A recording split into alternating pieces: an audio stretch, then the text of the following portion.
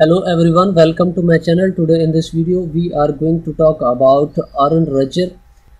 So before going to video I will request please make sure to subscribe my channel and press bell button.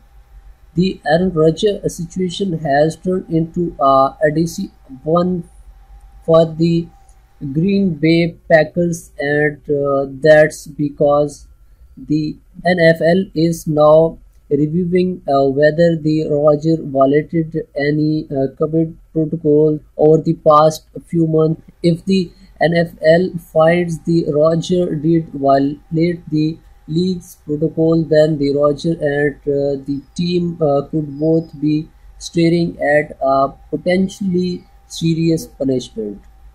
So this was the news and if you want to get more videos please make sure to subscribe my channel and press bell button. Thank you